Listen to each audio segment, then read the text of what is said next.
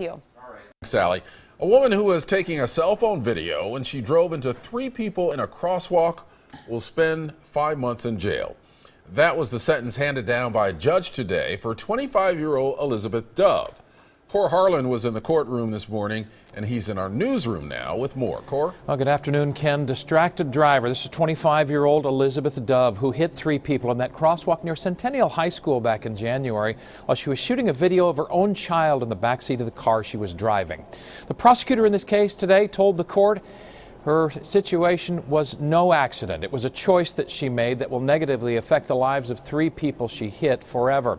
Victims in the case all got a chance to address the judge before he imposed his sentence. The first to speak was Julie Hollenbeck Newman. Her daughter has sustained tens of thousands of dollars worth of uncovered medical bills as a result of that accident. And Julie says having her daughter struck by a car is something she'll never forget.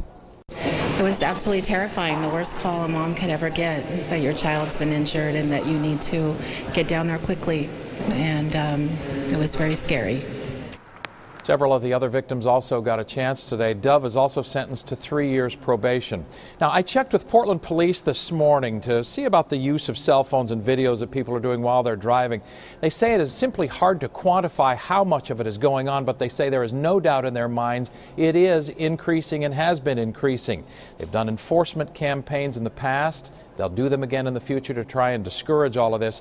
One final note here, Jenny and Ken. The judge actually arranged this five months of jail time into increments that will allow Elizabeth Dove to keep working and going to school. That is in an effort to make sure she can pay back the victims' families all the money that they have had to come up with to pay for medical bills. Jenny and Ken?